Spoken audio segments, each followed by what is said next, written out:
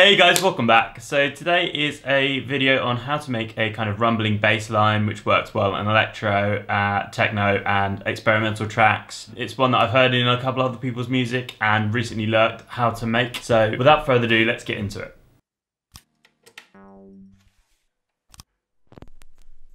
So first we'll start with an instance of analog. As you can hear, I've written a small MIDI sequence. It's playing the same notes and at one point drops down an octave. Nothing fancy.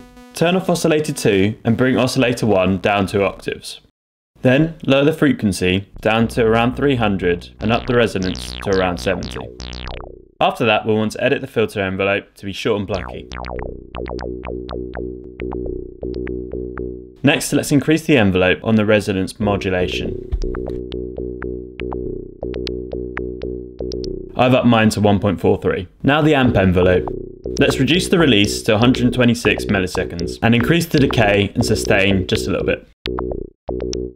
Now onto the LFO. This is where quite a lot of the uniqueness of the sound comes from. Let's enable LFO 1 and increase the rate to 1.6 Hz. Now let's apply it to the frequency modulation.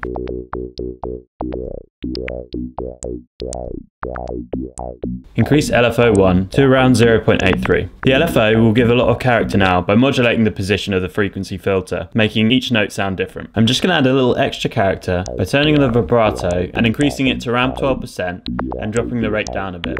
I'm going to also turn on the glide and bring the time down to 30%. Now to add some effects to turn our plucky bass into a more rumbling, warpy bass. The main thing I'll be doing is adding echo, and for now I won't change any of the settings.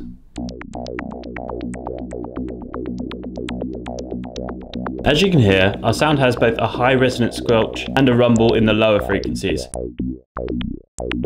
If you want to get rid of the high frequency, just use an EQ8 to filter out the sound that you want to use. I'll trim the high ends and the extreme lows.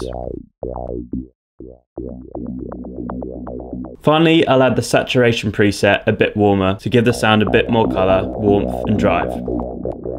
To really give this sound some interest, we can modulate the EQ and the filter on the echo. You can hear me just messing around with this now.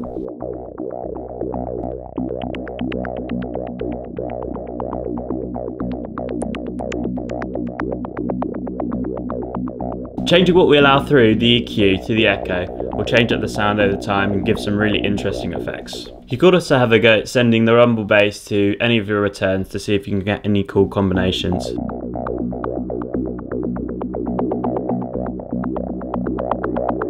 Automating this will also add to the interest of your track. Well that's it, a simple little bass line which sounds wicked.